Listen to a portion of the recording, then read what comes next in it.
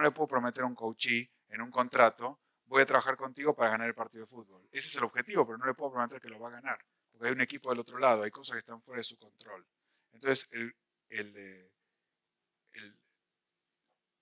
el balance del objetivo de integridad, perdón, el objetivo de efectividad, es el objetivo de integridad, que es lo que puedo garantizarte en este contrato es que te voy a ayudar a actuar en armonía con tus valores, persiguiendo la efectividad, pero garantizando tu efectividad.